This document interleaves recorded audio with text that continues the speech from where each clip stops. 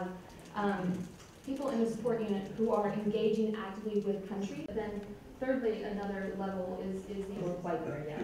Um, we have got an amazing in order to rally the people around this. Uh, You will remember um, we had a declaration uh, signed in Mexico's two agendas together, um, and and how Um, and when you see, for instance, some in the mountains, uh, Georgia is a very small country, but pleasure to be free to to uh, to take. მართველი კომიტეტის ხდომაზე ჩვენ საუბრობთ სამომავლო გეგმებზე, რადგანაც გაისად საქართველოს წამყვანი თავმჯდომარე გახდება აღია მართლობის პარტნიორობის და მნიშვნელოვანია გავიზიაროთ საფრანგეთის დღევანდელი გამოცდილება, რომელმაც მსოფლიო სამიტით უმასპინძლა ყველა წევრ ქვეყანას და სამიტის ფარგლებში მიიღო კიდეც ახალი წევრები.